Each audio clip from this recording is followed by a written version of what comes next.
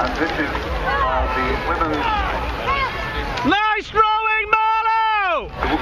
women's masters quad sculls.